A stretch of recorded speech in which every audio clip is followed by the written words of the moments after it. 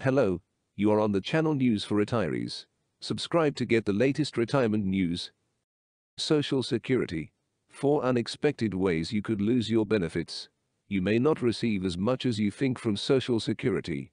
Social Security benefits can make up a substantial amount of income in retirement, so it's smart to ensure you are maximizing your monthly payments.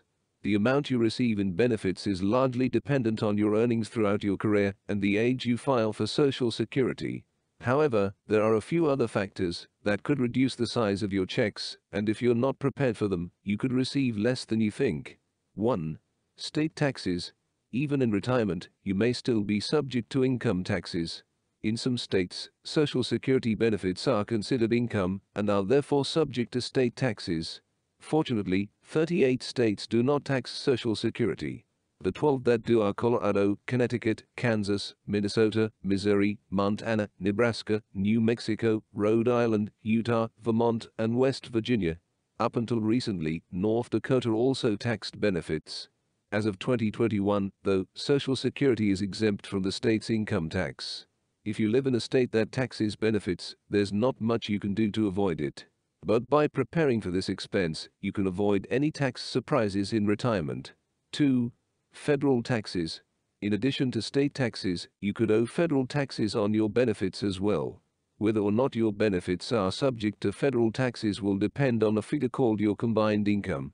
Quote your combined income is your adjusted gross income, such as 401k withdrawals or money from a pension, plus half of your annual social security benefit amount. If your combined income is higher than $25,000 per year or $32,000 per year for married couples filing taxes jointly, you'll owe federal taxes on a portion of your benefits. The good news is that no matter how much you're earning, you won't pay taxes on more than 85% of your benefit amount. In addition, Roth IRA withdrawals do not count toward your combined income. The more of your retirement income that comes from a Roth IRA, then the lower your tax bill will be. 3. Unpaid debt. In some cases, a portion of your benefits can be garnished if you have a significant amount of unpaid debt. If you owe federal taxes, for example, the Department of the Treasury can withhold up to 15% of your benefits until you repay your debt. Your benefits could also be garnished over unpaid child support, alimony, or restitution. 4. Earning too much.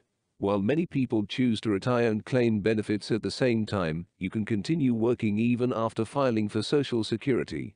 However, depending on your age and income, your benefits could be reduced if you continue to work.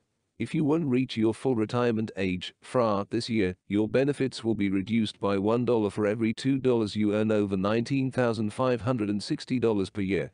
So, for example, if you're earning $25,000 per year, that's $5,440 over the limit. Your benefits would be reduced by $2,720 per year, or roughly $227 per month.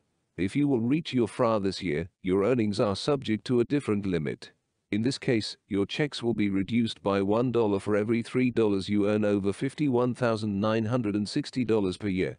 Fortunately, these benefit reductions are not permanent. Once you reach your FRA, the Social Security Administration will recalculate your benefit amount and your checks will no longer be reduced, regardless of how much you're earning.